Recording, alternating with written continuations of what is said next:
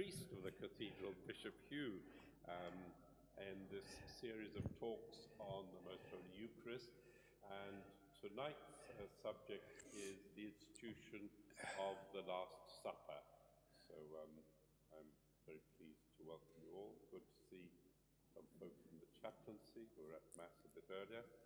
And um, uh, Bishop Hugh. Thank you. Thank you. Uh, well, good evening, everyone. And uh, this is the second of uh, the proposed uh, seven talks, God permitting. Now, in the first talk, I tried to put uh, the Eucharist in context, first in, as it were, the big picture, and then in the context of the church. So, just to briefly summarize what I said uh, last time that, first of all, the Eucharist, we can say, is, is present but hidden in nature, in grain, cereals, and grapes, in human life, meals, and in human worship, which is often turned on the offering of sacrifice. So it is hidden in those things. Then one stage up, one notch up. It is foreshadowed in the Old Testament, for example, in the Passover, the manna, and Israel's sacrificial worship. It was instituted by Jesus Christ at his last meal with the disciples, what we call the Last Supper. It is celebrated in the church subsequently, and it will reach its fulfillment in the heavenly banquet of the world to come. And then, if we focus more particularly on the life of the church, the Eucharist is not something marginal or dispensable. It is, in, in the phrase that Vatican II uses several times, the source and summit of the Christian life. Uh, we can say it's the center, but it's a living center. We might compare it to a heart. The heart is not the whole body, but it benefits the whole body and it, it purifies our blood, it oxygenates our blood, it brings life and health to the whole body. A healthy heart means a healthy body. So that's maybe a metaphor for what the Eucharist is. So that was the first talk. But now we can turn to the institution of the Eucharist at the Last Supper. We celebrated this recently uh, at Maundy Thursday. So, Jesus is at the end, the climax of his life and of his public ministry, and he knows it. St. John is very strong on this. He knows. He knows his enemies are closing in on him. He knows there is a traitor in his own ranks. And so he wants to gather the, his closest friends around him one last time, to spend time with them, to eat with them, and to show them through words and gestures how much he loves them. He wants to convey to them clearly, uh, fully, who he is and what he is about. It was, we remember, uh, the time of the Passover, the first of the three great annual Jewish feasts. And Jesus and his disciples were in Jerusalem for the feast. So, on what would be the evening before his arrest and trial and execution, the night before he suffered, as we say, he summoned his disciples to an upstairs room. Uh, it, it, was through a contact, they must have had a, a contact in that part of Jerusalem. And there he ate with his disciples, washed their feet, spoke with them at length, and prayed for them. There's a lot happens on that last evening. It's very dense, it's packed. And above all, he instituted the Eucharist. Now we know of this uh, through the Gospels of Matthew, Mark, and Luke, and from a passage from St. Paul's first letter to the Corinthians. So we have four accounts in the New Testament of the Last Supper. From uh, the Gospel of John, we have, you remember, the great discourse in his chapter 6, which is set earlier in Jesus' ministry, where he speaks of himself as the bread of life and of the need to eat his flesh and drink his blood.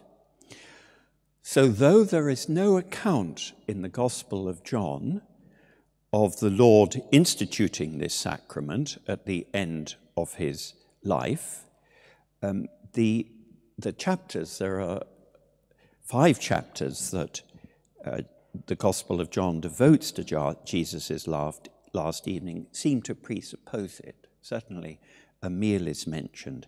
And in fact, those chapters, that's chapters 13 to 17 of John, can be read really as a spiritual commentary on the Eucharist. It's not mentioned, and yet it's, it's there. So we can say that the institution of the Eucharist by Jesus at the end of his life is well as attested. And thanks, uh, of course, to, the, to our celebration of the Eucharist, we are familiar with his words and gestures on this occasion. And we hear them in the liturgy, and so I'll quote them in the form uh, that they appear, are familiar to us from the Roman liturgy because this, uh, there's Matthew and Mark on one side, they, their description of the Last Supper is very similar, and St. Luke and St. Paul are similar, but different. Not radically different, but with different phrases and some different or, uh, order of events. But this is what we're familiar with. This is, say, from the third Eucharistic prayer. For on the night he was betrayed, he himself took bread, and giving you, the Father, thanks, he said the blessing, broke the bread, and gave it to his disciples. Take this, all of you, and eat of it, for this is my body, which will be given up for you.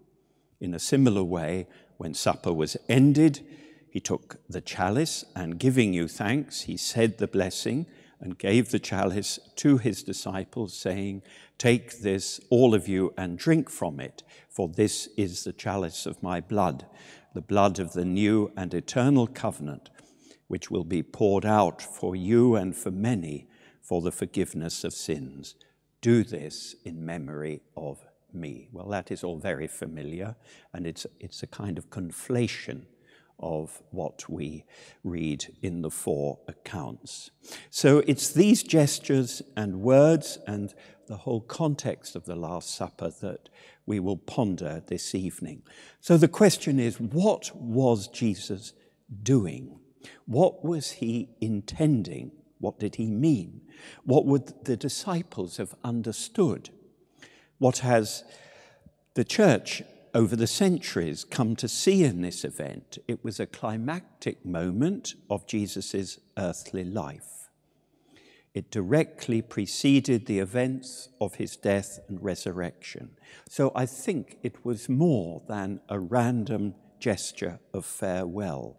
There is something premeditated about it. So, with due reverence and guided by faith, let's try and explore this. And I'm going to offer three different approaches as to what was going on in the upper room on that evening. In, it was Jerusalem, it was springtime. Remember that, the time we are in, probably our month of April. Well, here's a first approach. Um, the accounts all set the Last Supper in the context of the Jewish feast of the Passover. Jesus chose the time of the Passover to institute the Eucharist. So, to, to quote St. Luke, then came the day of unleavened bread, which was part of the Passover, on which the Passover lamb had to be sacrificed. So Jesus sent Peter and John, saying, Go and prepare the Passover meal for us. that we may eat it. They went and prepared the Passover, and when the hour came, he sat at table, and the apostles with him. And he said to them, I have earnestly desired to eat this Passover with you before I suffer. So it was during this Passover meal that Jesus instituted the Eucharist. This is not a, a, coincidence, it was a chosen context, and it helps us understand what is going on. So, let's go on a little excursion here. But we must never forget that Jesus was a Jew. We do forget, actually.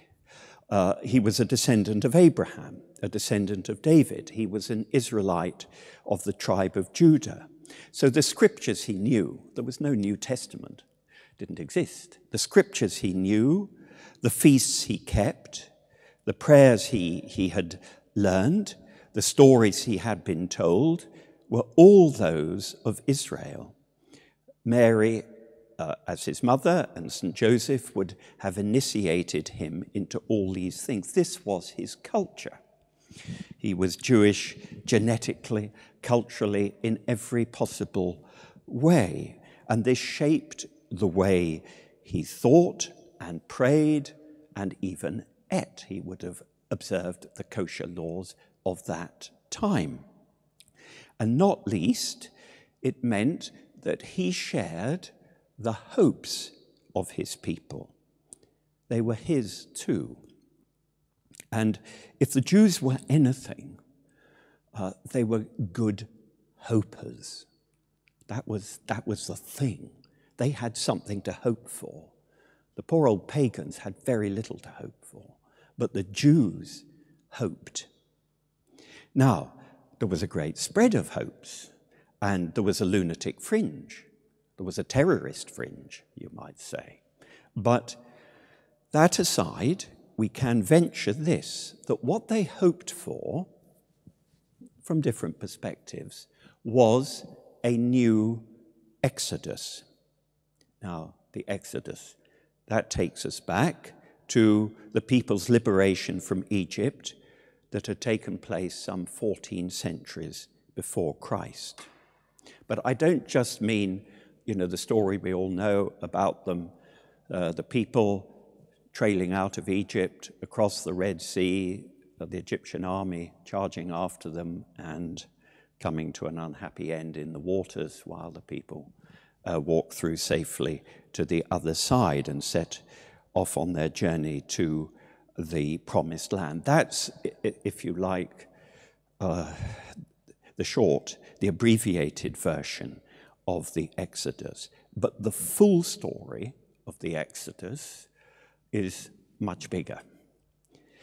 Uh, and it, it has these sort of elements in it. It, it's driven by, it's uh, moved by the, the faithful and merciful love of the Lord who had chosen Abraham's descendants. He it is who leads them out of Egypt under the guidance of Moses. Then you remember they come, they go out into the, into the wilderness, and they go for a rendezvous, as it were, with the Lord at the foot of Mount Sinai. They receive the law, and a covenant is ratified in the blood of bulls at the foot of the mountain. And the people the Israelites become, the Hebrews, as they are called at this stage, the Hebrews become the people of God. They become the Lord's dedicated people. They are, as it were, married to the Lord through this covenant. Then it's all part of the Exodus in the big version. Forty years later, the entry into the promised land the establishment of a kingdom centered on Jerusalem.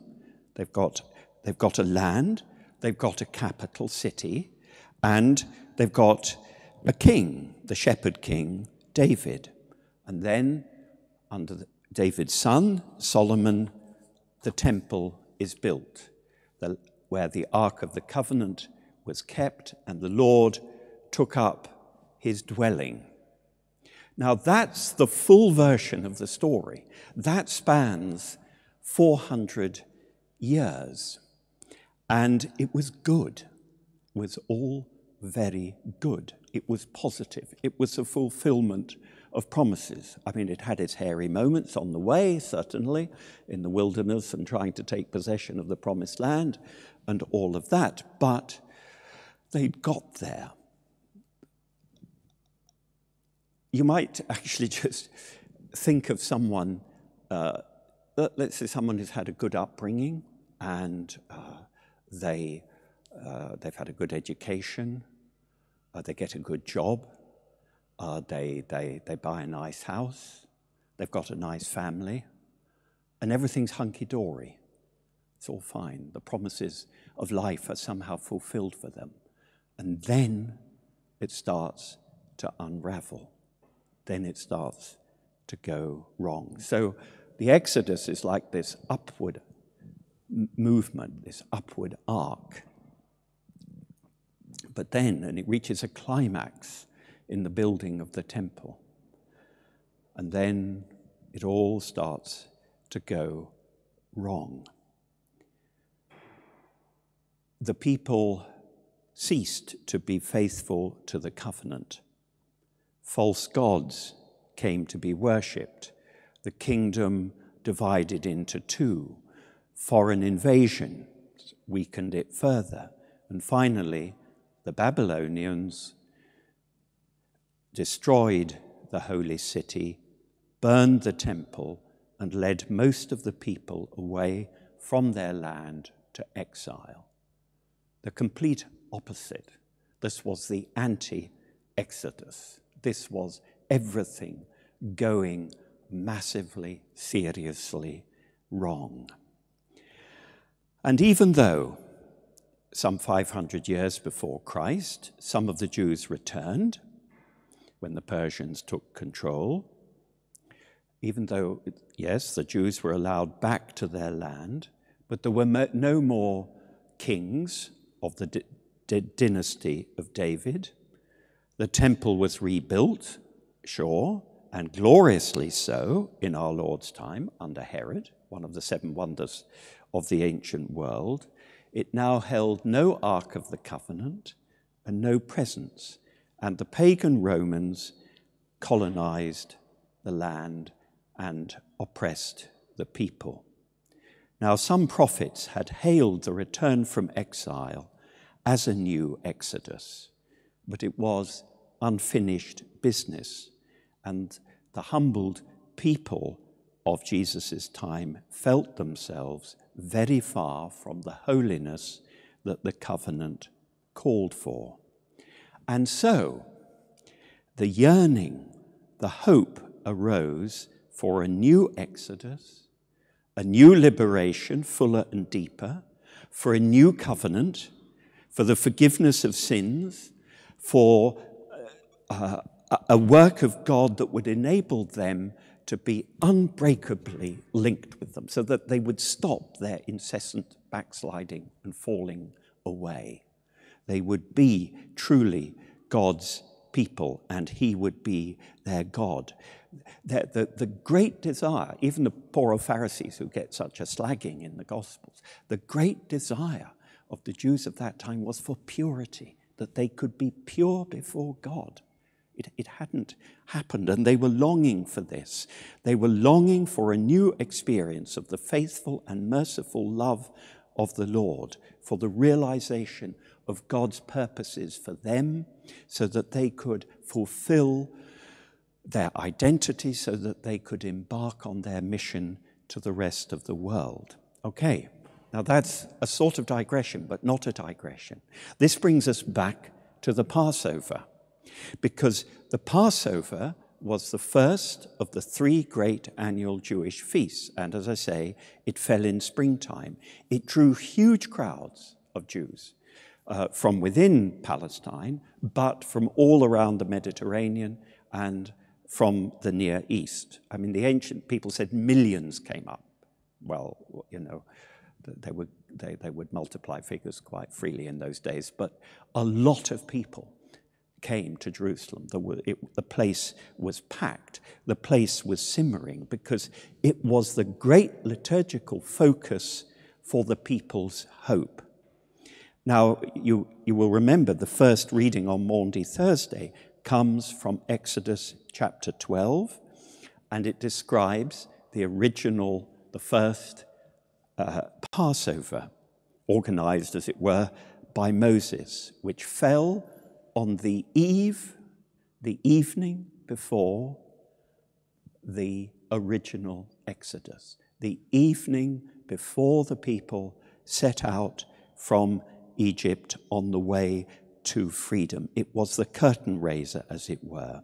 By Jesus' time, it was celebrated annually.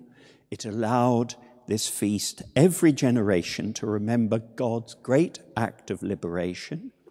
It allowed them to feel that they were part of it, and it prompted a wave of hope that God would remember them, that there would be a new exodus, that God's people would be set free by his merciful and faithful love.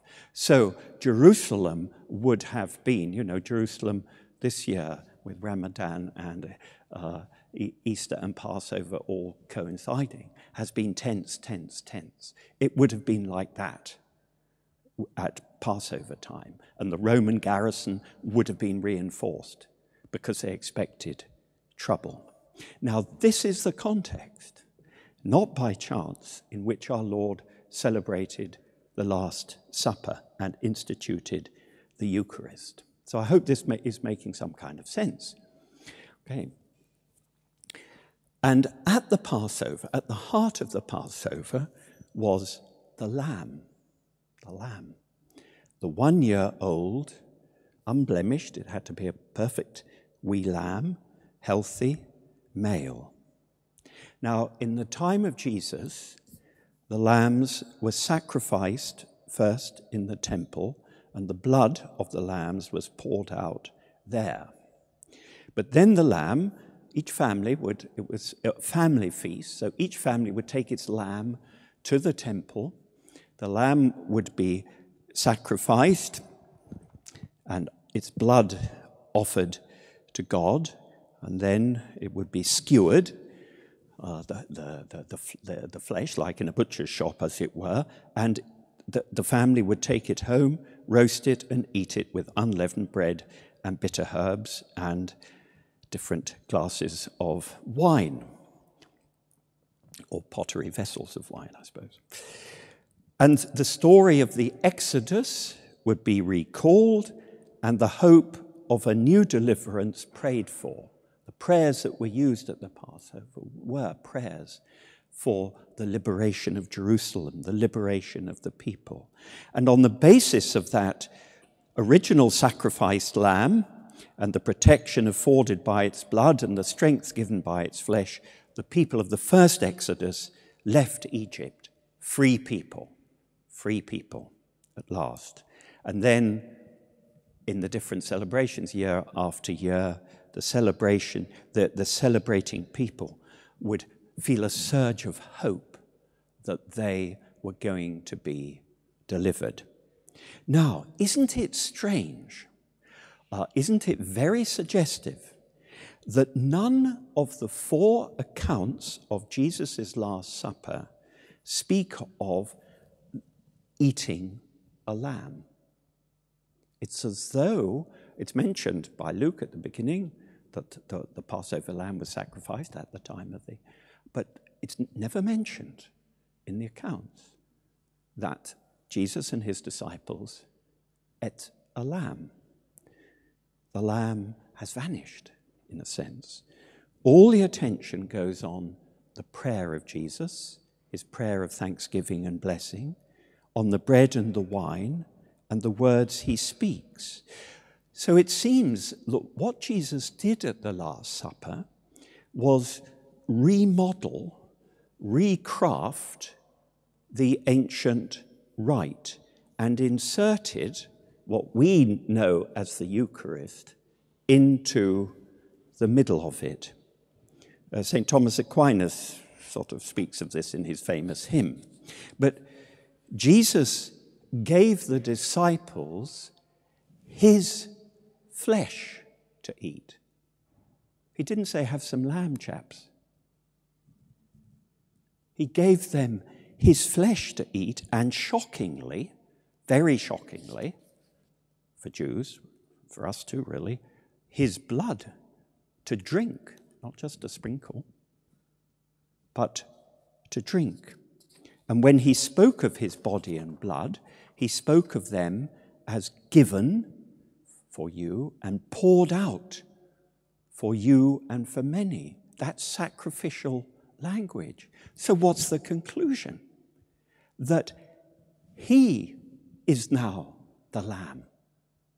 He is the Lamb. He has taken over the Lamb, as it were. The Lamb has been forgotten. He is the Lamb of God who takes away the sins of the world, as John the Baptist had said at the very beginning, by his sacrifice, and he feeds God's people with his own body and blood. So the Eucharist is something new. It's not an animal sacrifice anymore. Animal sacrifice has come to an end. It is the self gift of God made man, of Christ. It is his sacrifice and his banquet, the sacrifice of the Lamb, the banquet of the Lamb. At the Last Supper, Jesus made himself the paschal lamb. Amazing, if you think of it. So, what was he doing? He was realizing Israel's hopes. Through his new supper, remember, the Passover happened on the brink the evening before the Exodus.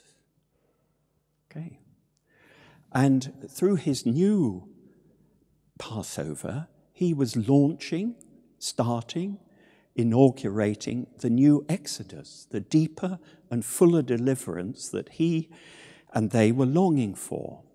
So he speaks of the blood of the covenant. He speaks of the, the words of consecration that we know speak of a new and eternal covenant. The speech of the forgiveness of sins. These are phrases from Exodus chapter 24 and Jeremiah chapter 31. They're taking up and transfiguring ancient, the ancient practice and the long held expectations. We've got with Jesus, new Passover, new Exodus, new covenant, new people, new holiness, a new closeness to God. I will be their God, and they shall be my people. It all begins in the upper room.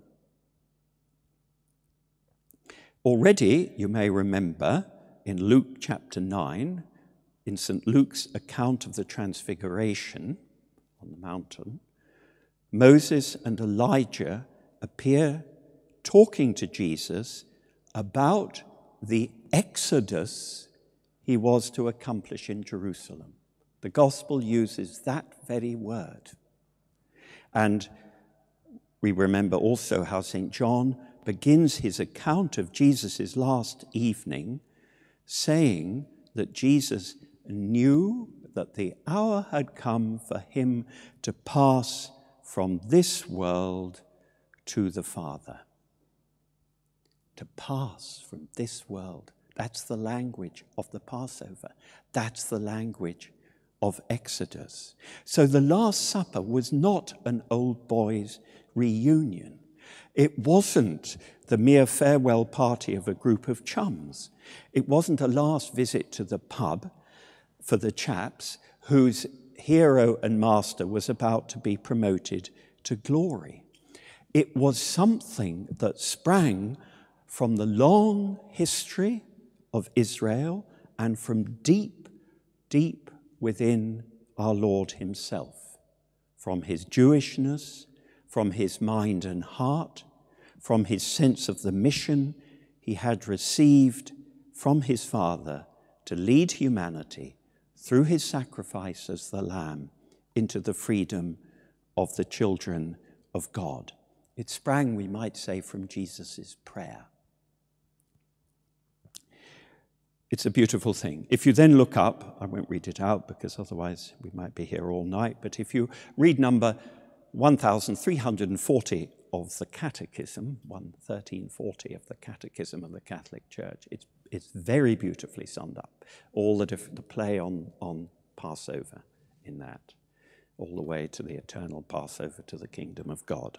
It's very beautifully done. So that's the first approach. Now, I promise that's the longest one, okay?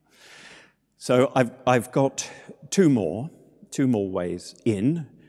It's, it's as though we are, you know, we're, we're you know, we, we, we've got a little ladder up to the upper room on the outside and we're peering in through the window to see what's going on and trying to understand it. So here's another approach. The Lord instituted the Eucharist on the day before he suffered, on the night he was betrayed, as our liturgy says. In other words, against a very dark background, as well as a very tense situation in Jerusalem. I mean, Jerusalem does tension big time, but it was doing it then as well as doing it now. And immediately after the Last Supper, you remember, he goes to the Garden of Gethsemane and he falls on his face on the ground. He is flattened by the full horror of what he is about to endure. Father, if it be possible, let this cup, interesting, talks about a cup again, pass from me. He's then arrested. He is tried successively before the Jewish and the Roman authorities, sentenced to death, and executed. You killed him, as St. Peter lately, later and bluntly tells his Jerusalem audience. Externally, Jesus is a victim. Terrible things befall him. He is done away with. He dies and he's buried. He has apparently no agency of his own. Throughout the Passion, he's the object of the malevolent actions of others. Not all malevolent, but mainly. And we know uh, the impact of this on the disciples. They just scarpered, they just ran away. Okay, it was too much, it was all too horrible. Now, at the Last Supper, and all the accounts, the four accounts, in, uh, and St. John as well, indicate this in a variety of ways. Jesus is radiantly in charge. He's the Lord. And in the Eucharist, what he does, he knows, he knows, St. John kept saying this, he knows, he knows, he knows how this is going to impact the disciples. What, what's going to happen tomorrow is going to be far, far worse than they imagined. And what he does by instituting the Eucharist is offer his dis- disciples another perspective on his passion. Now, in the short term, this had no effect whatsoever. They still ran away. They made their first communion and abandoned him, except on the beloved disciple. But in the long term, what Jesus does, has shaped our whole understanding of the Paschal mystery. At the Last Supper, it's very important, we, we don't know, the, the two words are used. Jesus gives thanks and Jesus blesses God. These are, and, and the gifts probably. But this is the origin of our Eucharistic prayer. This is what our Eucharistic prayer is, is the extension of the, the thanksgiving of Jesus. But um, Jesus gives thanks to the Father on the eve of his passion. He gives thanks. Do we, do we get that? He blesses his father. It was a great Jewish thing to do, was to bless God. And he blesses his father and thanks him at this very moment. He, going through it again, takes bread, breaks it, and shares it, and says, St. Paul's version, This is my body, which will be given up for you. Now, when our Lord uses the word body here, he's not referring to a part of himself, body as opposed to mind or body as opposed to soul. He means his whole being, his whole self. Then a little later, he takes a cup of wine, shares it, and declares it to be his blood, the blood of a new covenant, which will be poured out for you and for many. And when he says blood, he means, as a Jew would, his life. So he's spoken of his self and of his life uh, poured out to death. But he is um, talking of what will happen to him the next day, the horrible things. He is talking of them in terms of his body being given and his blood poured out. He's referring to his forthcoming death, but he's not referring to it as something that will be done to him, but as something unspeakably generous that he will be doing for us. He was talking about himself as a sacrifice and as a sacrifice freely made. There are echoes in these words of his of the suffering servant of Isaiah, who bore the sin of many and made intercession for the transgressors, and poured himself out, poured out himself to death actively. So I hope I'm making this clear. Jesus it was not simply a victim. This is what he was saying. Don't be fooled by what will happen tomorrow or what will happen that very night from the moment that he's arrested and loses his own freedom of movement. He was an agency.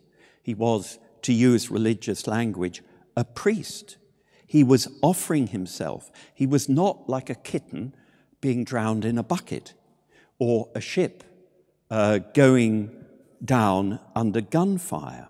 Now, certainly he suffered. He suffered to the end in every sense. He absorbed all human suffering, but he did so willingly. He did so as the Son of God made man in sovereign freedom out of love for us, because he chose to obey the will of his Father, which desired our salvation in this way. So I, I hope I'm, I'm getting this across. On Friday, he's the victim. On Thursday evening, he's the priest. It, and he is therefore giving his disciples the true interpretation of what the Passion is. By the gestures he made at the Last Supper, breaking and giving bread, sharing the cup of wine, and by the language he used, he was, as it were, taking the scandal of the cross away from his disciples. He was showing that this was not merely a passion, which is something undergone, but an action, something he was doing. He was reassuring his disciples that he was not about to be simply overwhelmed by hostile circumstances and that they were not about to witness his defeat but his victory. That he does what he does and says what he says while thanking and blessing God is saying the same thing. His passion is a prayer, his passion is a thanksgiving to his Father and a blessing for him and for those who receive it. So, in the, the great prayer in John, Father, the hour has come Glorify your Son, that the Son may glorify you. On the cross, Jesus is not just being beaten up by human beings, he is glorifying his Father and being glorified by his Father. So we can say that Jesus was taking the disciples to the inside of the Passion. On the outside, it was shock and horror. Uh, on the outside, it, it, you know, it was Mel Gibson, really, you know, that, that, that version of the Passion. It was, but on the inside, it was something other and transforming. It was thanksgiving and praise. It was offering. It was an act of atonement. It was a going to the Father. It would issue in the resurrection. All this, Jesus was, you might say, embodying, embedding in the institution of the Eucharist, and therefore in every Eucharistic celebration. So the Second Vatican Council picks up a phrase from the Council of Trent and says that the Eucharist represents or makes present the victory and triumph of his death. You know, the Mass is not Oberammergau. You know, we don't come along with a hammer and nails to Mass. What we hear are, This is my body given for you. This is my blood poured out for you. It's not a passion play. And his resurrection is in there too. In the Eucharist, in sacramental form, Jesus anticipates his self offering to the Father and its acceptance by the Father expressed in the Father's raising of him from the dead. So, again, it, this was not mere gesture, this was not play acting. It was already in the Last Supper the reality. You might say, in the Last Supper, Jesus pledged himself to give himself on the following day. He was, he was doing this. And it, this is good to remember for ourselves because this is the power the Eucharist gives us.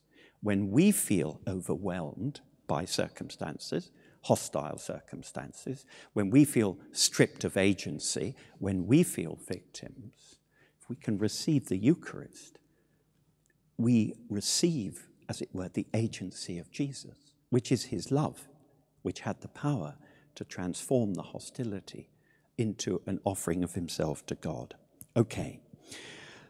Now we come to the last approach, and this will be even shorter, I promise. uh, a last approach. Now, there, there, could be so many others, and you know, if, as I say, if we're we're up on the ladder, peering into the upper room, and seeing the the oil lamps and the flickering shadows on the wall. Well, there's so much, there's so much we could see. But when he instituted the Eucharist, uh, Jesus was proclaiming his death as St. Paul says, uh, the good news of his death, its sacrificial, transformative power. But there's something else happening. Because at the same time, Jesus commands his disciples to do this in memory of him or as a memorial of him. Now that takes us again back to the original Passover because this day will be a day of remembrance for you, the Lord says through Moses. And it is, the Passover must be repeated so that you remember. But again, Jesus takes something up and transforms it. He takes it up to take it further. Jesus, far more than Balaam in the Old Testament, I always like the phrase, is a man with far seeing eyes. Jesus sees very far in the upper room. He sees all the way back to the Exodus, he sees all the way forward to us, to his second coming indeed. The high priestly prayer of Jesus, which St. John links to this night, in it, Jesus prays not just for his immediate disciples, but for all who through their word their preaching, will believe in me. And he says his blood will be poured out for you, his disciples, round the table, and for many. And for many. There's this further horizon, there's a little circle in the room, but Jesus looks beyond for the many. In other words, the many who are the innumerable crowd of believers, of the redeemed and of believers. And in the Eucharist, this is the third thing, Jesus creates the ultimate form of outreach. There's nothing, there's nothing comparable to it in history. I, I can't think of anything remotely like this. The, he had been building up an intimacy with his disciples. You remember at the Last Supper, I no longer call you servants, I call you friends. And now he's going to take this intimacy to an ultimate point and at the same time offer it to the future, to the many. Let's say, please God, us too. Because the gift of his body as food and of his blood as drink enable this. Because uh, nothing enters our flesh and blood selves so intimately as food and drink. And if that food and drink are the body and blood of the risen Son of God, they enter into us in a way that goes beyond all else. There's nothing like it. You know, forget sex, really. Nothing like it. Okay. Uh, is not the cup we drink, asks St. Paul, a communion with the blood of Christ, and the bread we break, a communion in his body. And again, you remember how in his high priestly prayer, Jesus prays that they may be one, as we, as you, Father, and I are one, that they may be one in us, and one in the Father and the Son with each other. Jesus is initiating a new human unity. Human beings we instinctively hate each other, really, really. And, and we go off and we, and, and in all directions. Fission, fission as it were. We are, we are centrifugal creatures. Uh, and Jesus is bringing us back. And the, the unity the Eucharist brings about is both personal and corporate, communal. But we'll come back to all that at a later date. So that's just a very brief sketch of this third element. And it's connected with the whole idea of communion, the whole idea of the paschal banquet. So here, again, what was Jesus intending at the Last Supper? And once again, in the Eucharist, he in the Eucharist he institutes, he presents himself as the true Lamb whose sacrifice and blood will not just set us free from social slavery, but from the slavery of sin and death, and open for us a way to a new world, to the kingdom of God. But just as the sacrifice of the lamb is completed by eating the lamb, uh, so his sacrifice is completed by us eating Him. Through communion in the body and blood of Christ, we assimilate His whole self, His body, His gift of self, His blood, His love to the end, and we are able to live this in turn if we open ourselves to it. So the institution of the Eucharist really was the founding act of the church because the church is the body of Christ. The body of Christ. Well, that's sort of it. Well, that is it. But I mentioned before John Paul II's phrase, Eucharistic amazement. I think we, we should be amazed if we begin to ponder even on the Last Supper. It's already amazing because it is very human. It is very human. It is a farewell meeting, a farewell meal. It's full of emotion. but at the same time, it's so all embracing that Jesus' thought and his love reach back over Israel's history, in a way, reach back to creation, and they reach forward to the church uh, in the in and the future. So in the upper room, Jesus makes room even for each and all of us. Thank you.